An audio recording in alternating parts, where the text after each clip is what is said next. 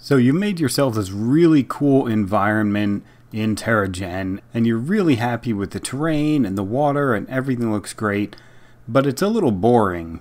So in this video we'll be making it a little more interesting with some trees and placing them exactly where we want them.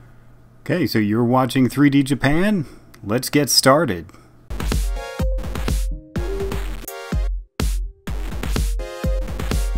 Okay, so here we are in the Terragen interface, and our scene looks great, but kind of barren, so let's add some trees. So, come over to the Objects tab here, and I'm going to add Objects, and Population, and then the TGO Reader, and here I have some uh, tree objects that came from Xfrog. These are uh, free on the Terragen website. So I'm just going to pick the first one. These are all palmettos. It's basically palm trees. Let's click that. And so we get our object loaded and uh, separate objects for the uh, population. So we've got our object selected here and it's enabled and let's just hit populate now and see what happens. Uh, yeah, so pretty much nothing has happened. And the reason for that is that our trees are all over here at zero.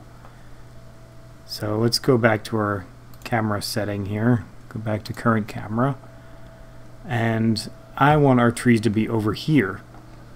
So I'm going to right click on some place in the terrain around the middle and copy coordinates. Then I'll come over here to Area Center and click on the button here and paste coordinates. And now our trees are over here. So I want to make them spread out more and cover a larger area. So let's look at area length. Just make it all the way up. So now it covers a very large area. And let's try populating now.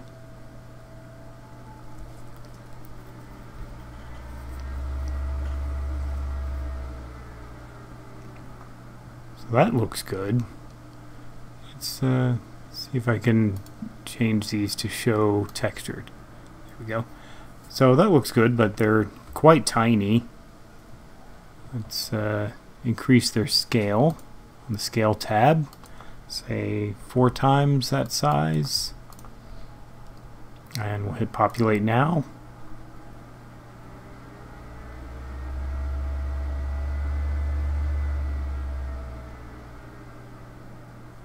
And now they're massive. So let's come back to the distribution. And let's here's the object spacing. Let's uh, increase this to say 40 and populate now. And that's a lot better. Maybe we can even go to 50 or say 45 45 45 populate now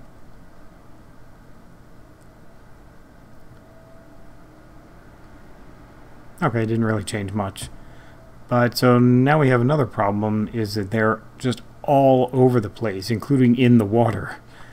So let's paint the areas where we want our trees to be. So for the moment, let's disable them. And just let this continue uh, processing until it's finished. There we go, finished. And now we can hit the pause button so that it'll stay like this while we're working. So we'll come up here, we have this uh, painted shaders icon. Click that and start painted shader and create and paint new shader. There we go, this whole interface goes dark. And we've got a new options box here with our paintbrush settings. And we can see our paintbrush is quite large and it changes size depending on the distance.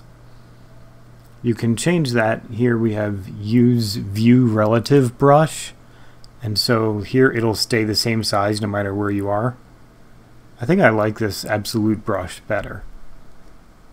So let's change our brush scale down a little bit. We don't want it to be that huge. Okay. And then we can change the flow a little bit. Increase that. And so now we'll start painting. You'll notice the first stroke doesn't really seem to do anything. But the second stroke will start working quite well. And we can just paint over all of the areas where we want our trees to be. Put them up on top of the hill, uh, but I don't want them to be down on the beach. Okay, and then I'll paint some over here too. Okay, and then back here, let's uh, make our brush size a little bit bigger. There we go. And just paint them all over, not going on the beach. So we had trees all over our beach. Where's our uh, sunbathers going to get their sun from? Now, our trees don't go back as far as these hills, so we don't have to paint those. So, let's paint a little bit more here. Okay, and so now we can come back up here. And if you make a mistake, say if I painted up here, or if I painted over here and I said, oh, I don't want to paint there, we can choose eraser mode and just erase everything make our brush a little bit bigger and just erase it all. Okay so we're done painting. So we'll come up to paint and stop painting.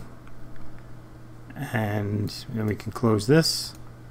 And it looks like nothing has happened. Let's unpause. It'll process again. Still look like nothing's happened. So let's enable our trees again. And again, they're all over the place. So let's come down here to use density shader. And I'm going to click the button here and assign shader. And see, we've got painted shader 1. I forgot to name it. there we go and now we'll hit populate now and bam now we have our trees just in the area where we painted.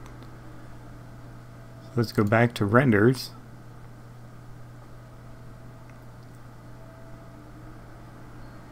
And let's do a quick render. See I have this set up really high. Let's make this a little bit smaller. 1080 or 1280 by 720 and render image. And as usual we see our dots from the ray tracing.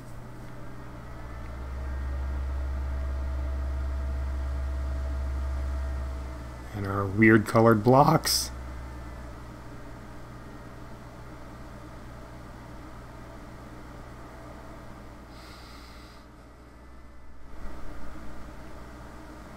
And I'll just pause the recording until it's finished.